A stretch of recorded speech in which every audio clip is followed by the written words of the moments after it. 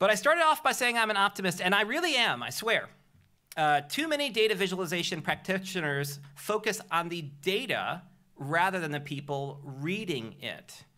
We need an approach to communicating data that fosters genuine understanding and human connection, which in turn builds trust.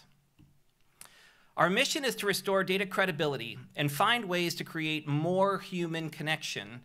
By putting people first in how we understand data and how we communicate it, we address both crises at once.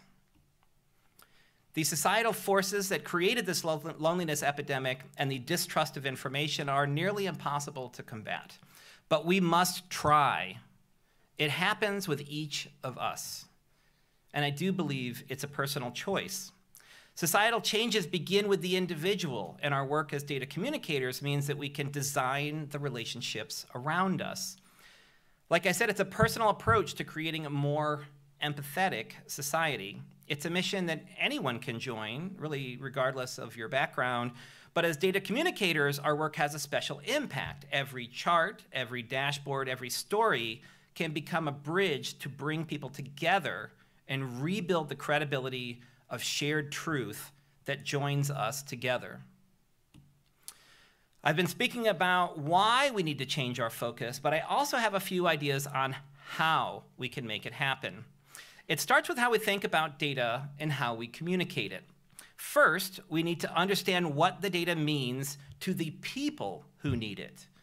Then we should use every tool available words, multimedia visuals, context, and story to design the conversation around their, their needs and meet them where they are.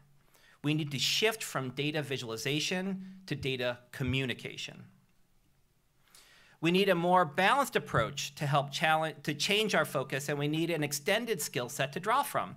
To equip the next generation of data communicators, our MPS program in data visualization and communication develops left and right brain skills in equal measure equipping communicators to make data empowering, not overwhelming, and to foster genuine understanding and connection through the combination of data and design.